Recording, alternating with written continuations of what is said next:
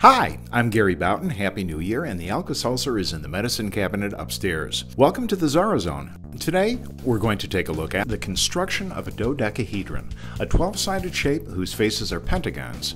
Fine art, it's not. This is simply a study in light and texture.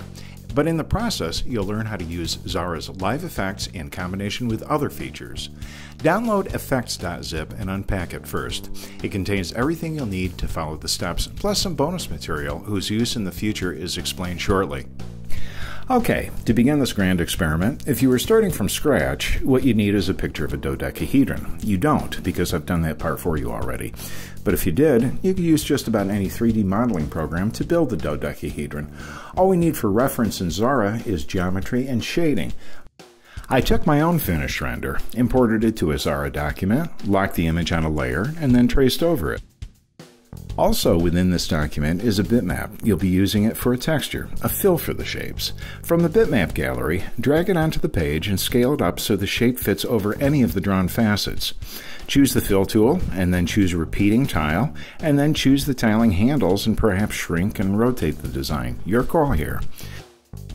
Now, to make this repeating tile more dimensional and visually interesting, you use one of Xara's Live Effects filters. With the shape selected, you click the wall plug icon on the toolbox, and then click New and choose 3D Bump Map.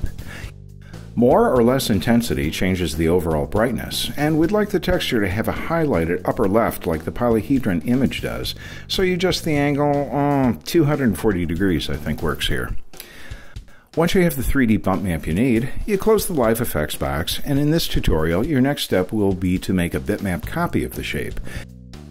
Control Shift C, then click Create. Now you can delete the original. I'm doing this so this shape carries less processing overhead with it. Live Effects carry some baggage, and there are some things you'll do shortly that can't be done with a Live Effect shape. Now I'm going to use the Clip View feature to clip the bitmap to the center shape. With the Selector tool, hold Alt to select under the bitmap, press Shift now to add the bitmap to the selection. Both the bitmap on top and the polygon on bottom are selected. Press Q and the bitmap is now clipped to the underlying shape.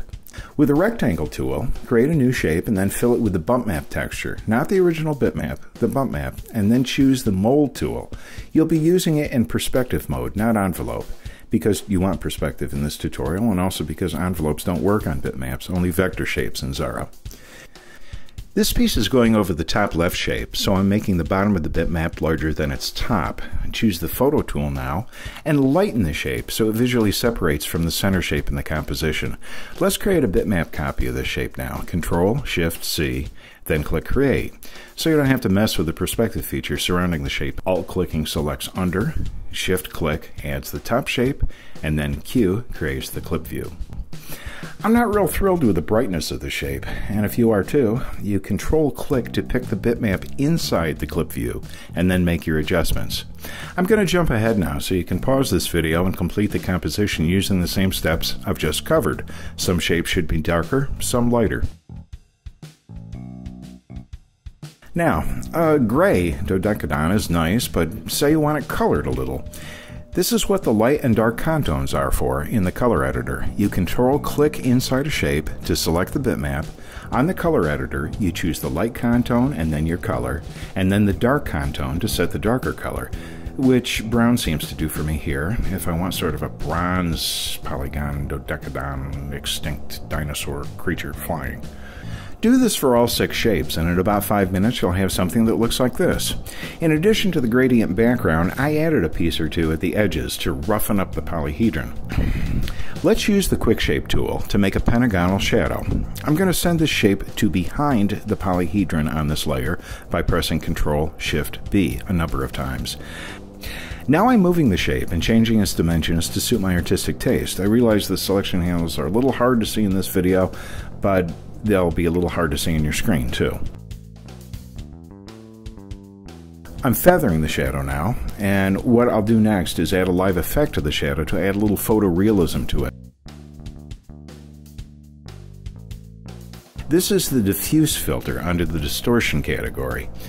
What this filter does is break up the edges of the shape and occasionally the interior of the shape so that the dodecahedron composition appears to be resting on a rough surface. Shadows seem like a little thing, but they do support a visually complex composition. I'm going to make a copy of the shape, Control Shift C, and then click Create. Why did I make a copy and then get rid of the original? Because I don't want to deal with the UI overhead of live effects when applying a second effect. Now choose the transparency tool, use stained glass mode and linear transparency mode, and when I zoom in now, this looks pretty interesting, huh? Again, there's a hidden layer on top in this document. It's called Finished. If you unhide it with the Page and Layer Gallery controls, it shows the polyhedron in all of its geometric glory. And if you haven't had your fill yet of platonic shapes, there's a file Platonics JPEG in the zip archive that's already free to import and get into higher math.